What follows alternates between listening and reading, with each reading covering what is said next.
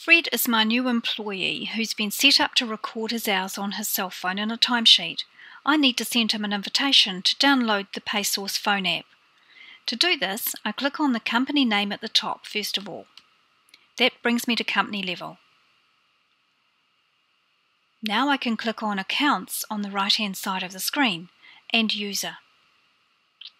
When I select the Add New User button on the right, I can put in Fred's email address and choose his role, which is employee. Next, the system wants to know which employee is he, so I'll select his name and then I'll click Send Email. Now all I have to do is click OK. Within a few seconds, an invitation is sent off to Fred's email address. It will invite him to download the phone app from his App Store and start recording his timesheet hours immediately.